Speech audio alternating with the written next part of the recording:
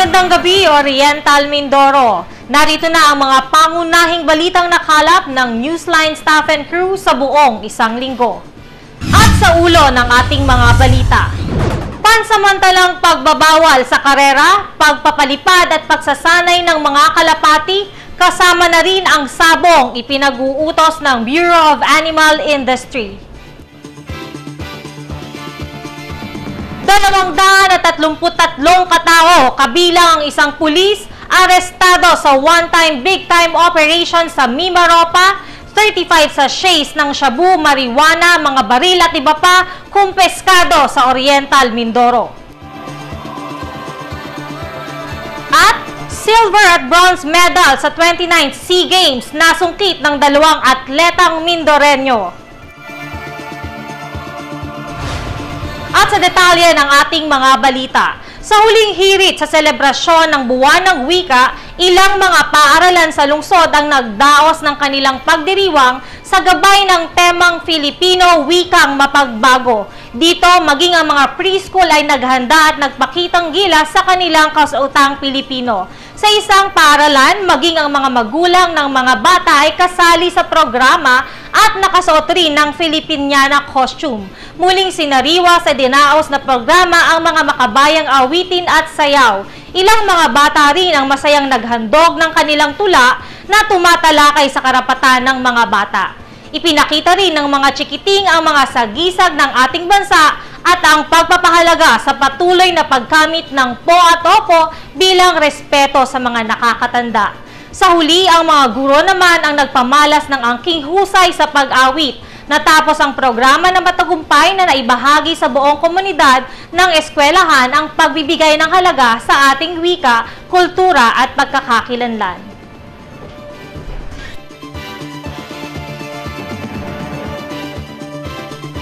Higit na paglilingkod sa komunidad at kapwa. Ito ang layuning nagsisilbing gabay ng mga bagong opisyales ng Rotary Club of Downtown Calapan sa katatapos lamang na 36th induction and turnover ceremonies ikadalawamput siyam ng Agosto taong kasalukuyan. Formal nang ipinasa ni President Edwin Acob ang RCDC Belen Gavel kay incoming President Guillermo Alegre bilang bagong mamumuno sa organisasyon. Pasasalamat ang naging laman ng mensahe ni President Acob sa kanyang mga kasamahan na sumuporta at naging bahagi ng kanilang isang taong matagumpay na paglilingkod sa pamayanan bilang mga Rotarian. Pinangunahan mismo ni District Governor Maria Luina Tolentino ang panunumpa ng bagong presidente kung saan ay sinundan ito ng pagtatalaga ng mga bagong opisyales ng grupo. Si President Alegre na ang nanguna sa panunumpa ng labing tatlong mga bagong miyembro o mga baby Rotarians. Bukod sa induction of new officers, kalinsabay nito ang signing of Sisterhood Club Agreement at ang Testimonial Leadership Award kay outgoing President Edwin Acob. Sa mensahe ni RCDC Great President Alegre, sinabi nito bilang siya ring namumuno sa Pag-ibig Fund Calapan Branch, isa itong hamon sa kanyang kakayahan at panahon. Ganun pa man, positibo siya na sa tulong ng mga Rotarians at sa layunin ng kanilang organisasyon ay kapwa niya ito maitataguyod na naaayon sa iisang adhikain. Ito ay ang maglingkod sa kapwa at maging tulay sa pagbabago. making a difference, yes, we will follow it through the fullest. When we make a vow to serve humanity, we will start it within ourselves. Change will start from every one of us, then we will compile it all together to make a difference. With a beautiful color like the peculiar logo of our team, Rotary, making a difference, magiging tatak G. Our will make a difference this year, sure yan. We will move Rotary forward and secure its future. Bahagi rin ng inaugural speech ni Alegre ang magbigay pugay at pagkilala sa mga nakaraang liderato ng RCDC. Aniya dahil sa mga past presidents kung kaya't higit na naging matibay at yumabong ang RCDC. Sila aniya ang naging pundasyon at inspirasyon sa makabuluhang pagpapatuloy. Sa huli, inaasahan aniya ang patuloy na pagkakaisa, malasakit sa komunidad at ang higit na paglilingkod ng mga miyembro ng RCDC sa mga nakalinya ng mga programa at proyekto ng Rotary Club of Downtown Calapan.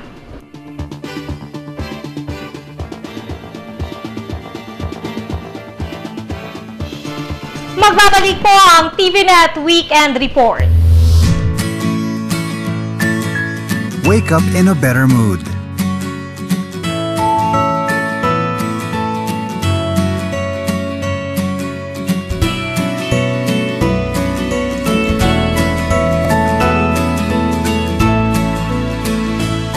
Look better with cleaner clothes.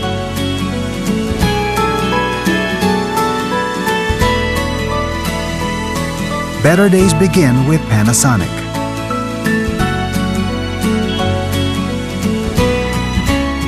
Smart ideas for a better life.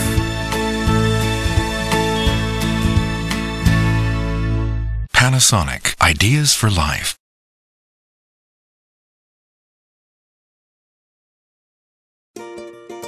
My Sophia really loves summertime, but the heat can get unbearable for her.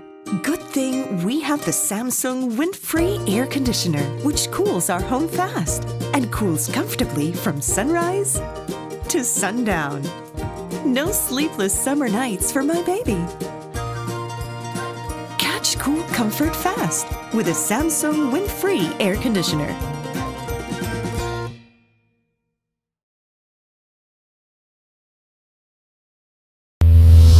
Sa ating police report,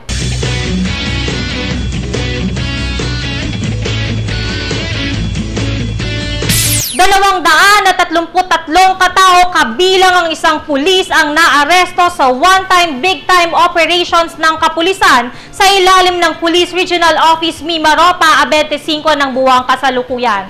Bahagi ng nasabing bilang ang dalawampung nasa kote sa pamamagitan ng buy-bust operation, kabilang si PO3 Ray Basilio de los Santos, 39 anyos, dating tauhan ng Mindoro Occidental PPO, at kasalukuyang nakatalaga sa ARMM. Naaresto ito ng mga tauhan ng San Jose MPS at PIDEA sa Barangay San Roque 2, San Jose Occidental, Mindoro kasama ang isang Armando Bantag at Rodel Intible Azucena na isa namang Barangay Peacekeeping and Security Officer na high-value target. Na-recover sa posisyon ng mga ito ang dalawang sachets ng shabu, isang plastic na naglalaman ng iba't ibang drug paraphernalia at ang ginamit na marked money. Samantala sa Service of Search Warrants naman, tatlo ang naaresto, kaugnay ang paglabag sa RA 9165 anim ang nahuli sa paglabag sa 10591 at 77 namang wanted persons ang nahuli. Nanguna ang Palawan sa may pinakamaraming bilang ng naaresto na umaabot sa 129. Kasunod ang Marinduque na may 35 at Oriental Mindoro na may 28. Ayon sa PRO Mimaropa na pinamumunuan ni Police Chief Superintendent Wilben Mayor, ang lahat ng ito ay bunga ng pinaigting na kampanya kontra kriminalidad at patuloy na pagtutulungan ng kapulisan sa rehiyon at katuwang ang PIDEA at iba pang law enforcement agencies.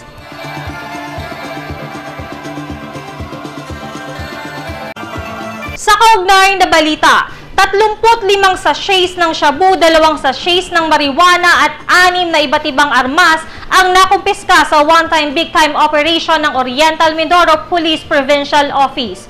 Sa ulat ng nasabing tanggapan na pinamumunuan ni Police Senior Superintendent Christopher Birong, Provincial Director, 28 mula sa 31 operasyon ang nagbunga. Kabilang sa mga nakumpiskang armas ang tatlong kalibre 38 baril, dalawang kalibre 45 at isang homemade shotgun. Maliban dito, 963 board feet rin ng kahoy at 380 sako ng uling ang nasamsam nila habang 28 katao ang nahuli, kabilang na ang 12 wanted persons. Kabilang sa mga istasyon na nagtala ng accomplishment sa one-time big-time operation ng Ormin PPO ang Calapan City Police Station, Nauhan, Bungabong, San Teodoro, Mansalay, Puerto Galera, Rojas, Gloria, Socorro, Victoria at Pola Municipal Police Stations. Gayun din ang second platoon ng PPSC. Inatasan ni Senior Superintendent Birong ang mga Chief of Police na paigtingin pa ang kanilang kampanya kontra ilegal na droga at kriminalidad upang mapanatili ang kapayapaan at kayusan sa Oriental Mindoro.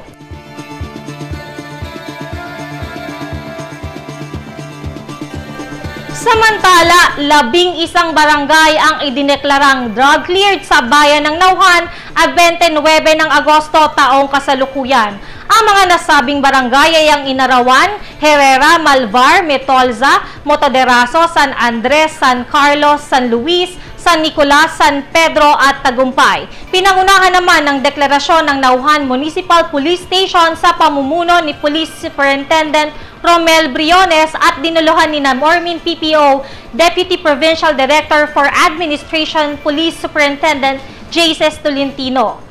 PIDEA Oriental Mindoro Provincial Officer Agent Hulita Katimbang, Nauhan Mayor Attorney Mark Marcos at Sangguniang Bayan Committee on Peace and Order and Public Safety Chairman Councilor Dane Arago. Dinaluhan rin ang deklarasyon ng mga barangay officials na sumumpang pananatilihin ang pagiging drug cleared ng kanilang nasasakupan at patuloy na susuporta sa kampanya kontra ilegal na droga. Bilang patunay ng drug-cleared status, tumanggap ang mga ito ng sertifikasyon at plake.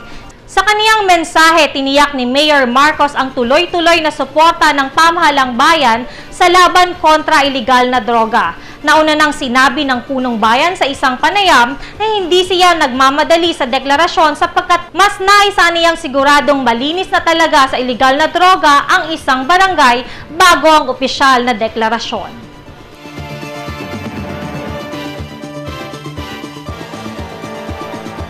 Antabayanan ng iba pang mga balita sa amin pong pagbabalik.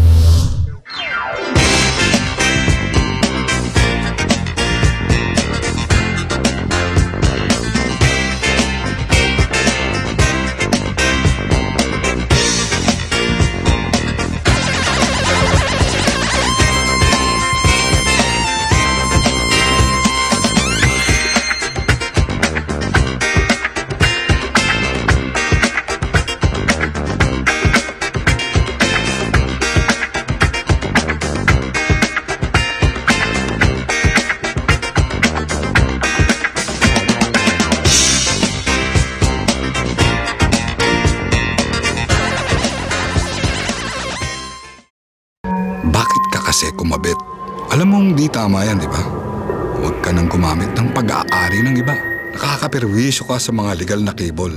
Lumalabo ang signal nila. Mahiya ka naman, hoy. Illegal na cable mo, putulin na.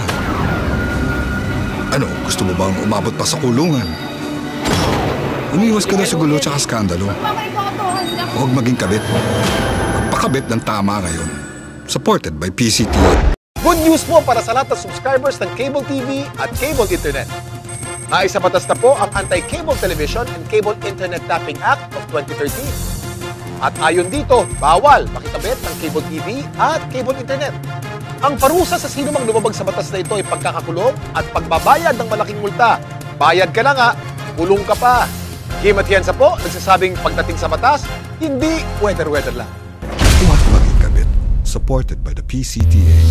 Sa pagpapatuloy ng ating mga balita, bawal muna ang karera, pagpapalipad at training ng mga kalapati maging ang sabong o tupada sa buong bansa. Ito ang laman ng ibinabang Memorandum Circular No. 12 ng Bureau of Animal Industry sa ilalim ng Department of Agriculture. Ang buong detalye alamin natin sa report ni Jake Viray.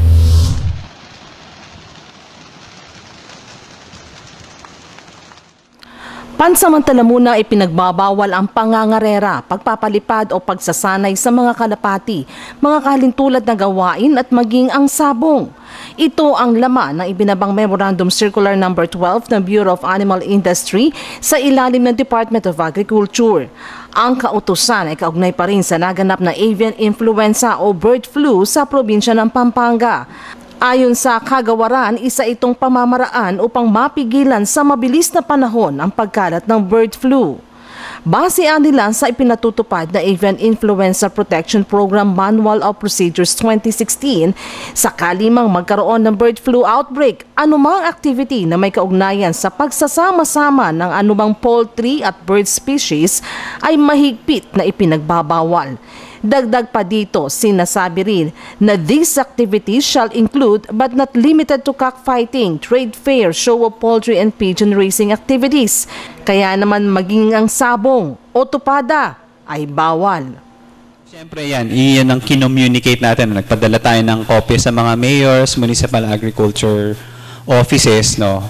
Ah, na ang sinabi nga natin eh, you should ano no, yung consider no, yung ah, restricting muna or yung, yung ban to ban yung mga ganitong activities, no. Mm, So Kasi- nasa local executive Oo, kailangan yan. kung kung kina kung kinakailangan sila mag-enact muna ng ordinance or mag-issue ng executive yan. order, no? Kung ano yung mekanismo na gusto nilang gamitin, it's ano no, it's their prerogative.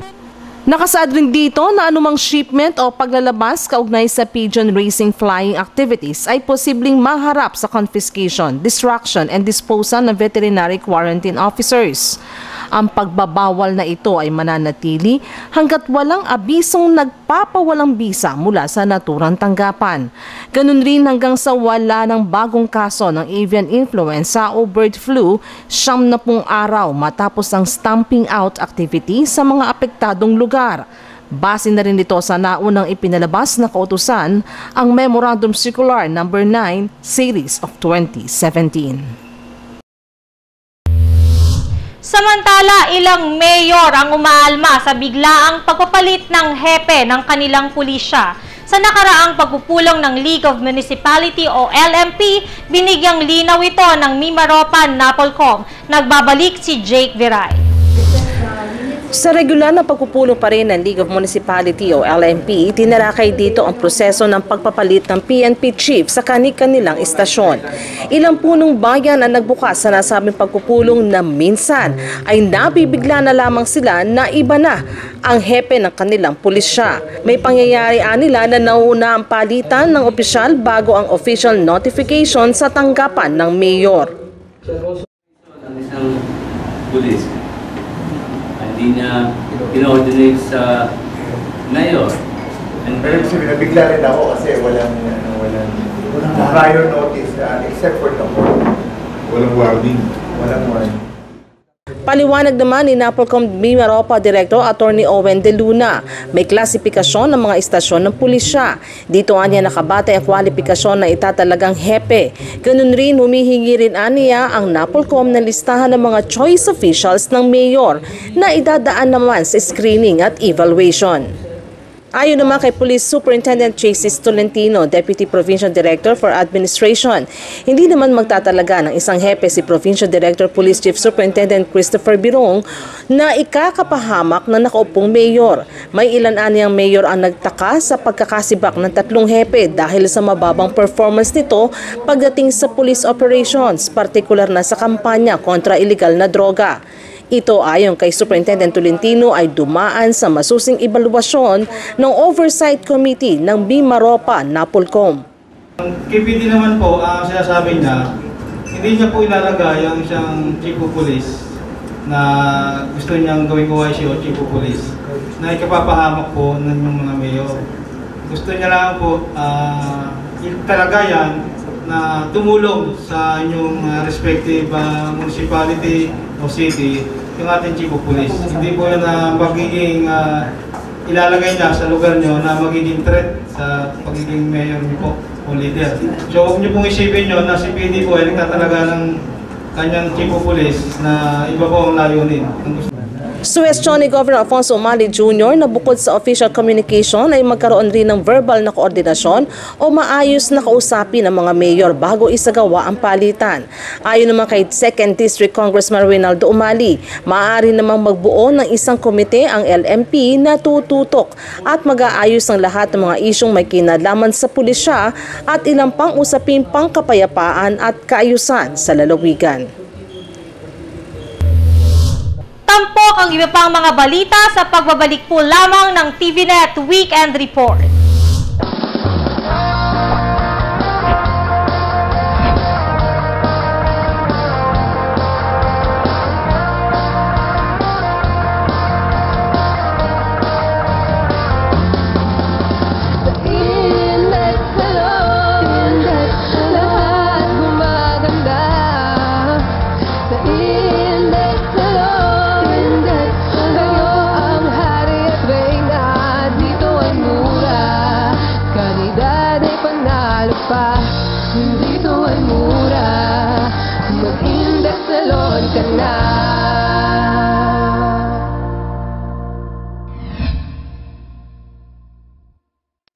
Best performance on the road is not just about speed, it's also about efficiency.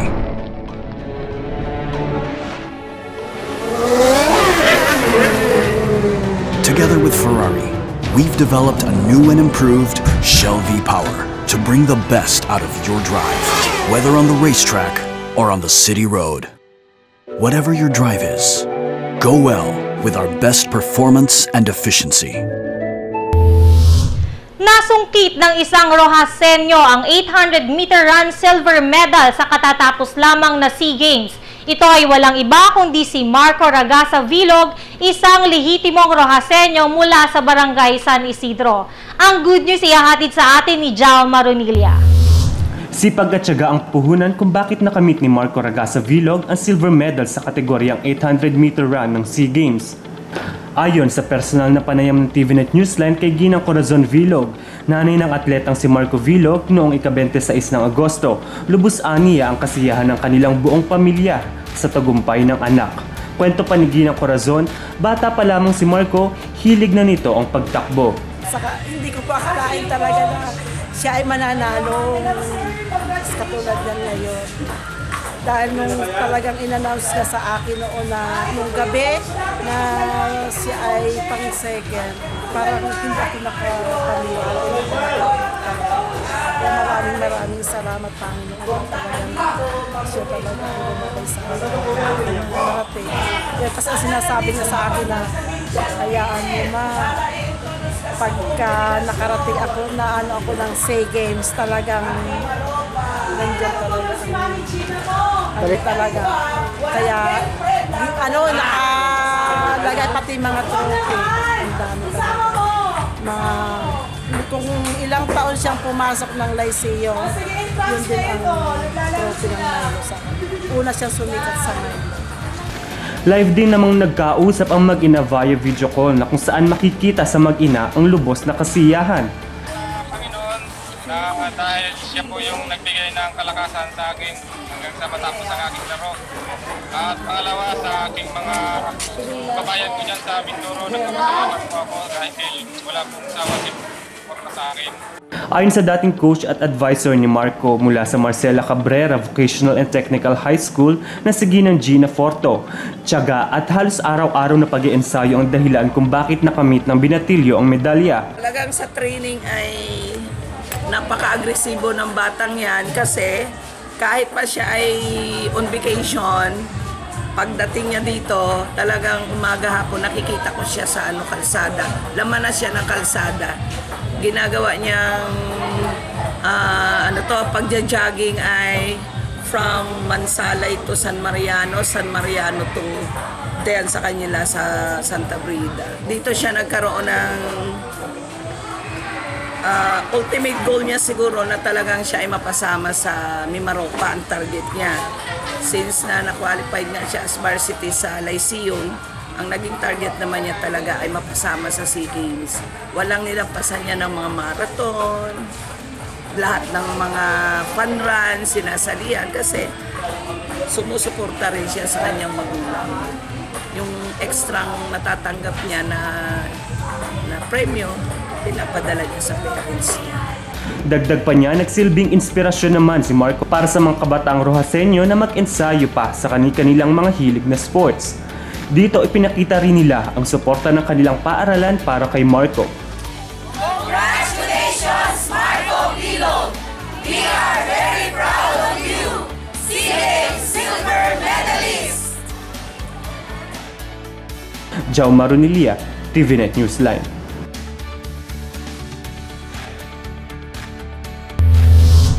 Samantala, isa pa ring Mindoreño at Calapeño ang nagkamit ng medalya sa ginanap na SEA Games. Siya ay si Mervin Guarte, bronze medalist sa men's 1,500 meter event. Ang isa pang good news ihahatid sa atin ni Jake Viray. Silver medalists in 2011 and 2015 from the Philippines, Mervin Guarte goes in 7. Muling nagbigay ng karangalan sa lungsod at maging sa buong lalawigan ang Kalapenyo si Mervin Guarte, bronze medalist sa men's 1,500 meter event sa 29th Southeast Asia Games na ginaganap ngayon sa bansang Malaysia. Si Mervin Guarte, 25 taong gulang ay isang lehitimong Kalapeño, anak ni na Alfredo at Lorna Guarte mula sa barangay Camilmil. Ipinanganak noong August 3, 1992 at nagtapos ang sekundarya sa Jose J. Ledo Memorial National High School batch 2008 to 2009. Noon pa man ay kinakitaan na na ang king husay at galing si Guarte kung saan nakapasok pa ito sa palarong pambansa at nag-uwi ng isang silver at dalawang medalyang ginto para sa lungsod ng Karapan at para sa karangalan ng JJLMNHS. Pumasok na scholar bilang isang mahusay na atleta sa San Sebastian College. Mula noon, tuloy-tuloy na ang kanyang pagsasanay hanggang sa sumabak sa Southeast Asian Games taong 2011 kung saan ay una niyang nasungkit ang silver medal at nagtuloy-tuloy ito hanggang sa 28 SEA Games 2015 na nagtapos ring silver medalist sa 1,500 meter athletics event. Tulad niya, hinihikayat niya lahat, lalo na mga kabataang Mindoreño na maging aktibo, lalo na sa larangan ng pampalakasan, kung saan ay hindi lamang aspetong pangkalusugan ng benepisyo, higit ay ang disiplinang lilinang at tutupad sa isang pangarap at maghahatid ng karangalan, di lamang para sa sarili kundi maging sa karangalan ng kanyang bayan at ng bansa. Samantala bilang pagkilala sa pinakitang husay sa Southeast Asian Games at pagbibigay ng karangalan sa lungsod ng Kalapan at lalawigan ng Oriental Mindoro, pinarangalan ng pamahalang lungsod ang SEA Games bronze medalist na si Mervin Guarte, ikatatlumput-isa ng Agosto na ginanap sa Oriental Mindoro National High School. Ayon kay City Mayor Arnancy Panaligan, napakalaking karangalan ang ibinigay ni Guarte sa Calapan City. Magsilbi sana aniya itong inspirasyon sa mga mamamayang Kalapeño na pakagalingan at mag-ensayo pa sa kanilang mga hilig na sports upang makamit ang pangarap. Tumanggap ng tropeyo, medalya, certificates at cash prize na nagkakahalaga ng 10,000 pesos si Guarte. Hindi naman makapaniwala ang atleta sa mga parangal na kanyang natanggap. Lubos aniya ang kaniyang saya at walang hanggang pasasalamat sa mga kababayang sumusuporta sa kanya. Maaari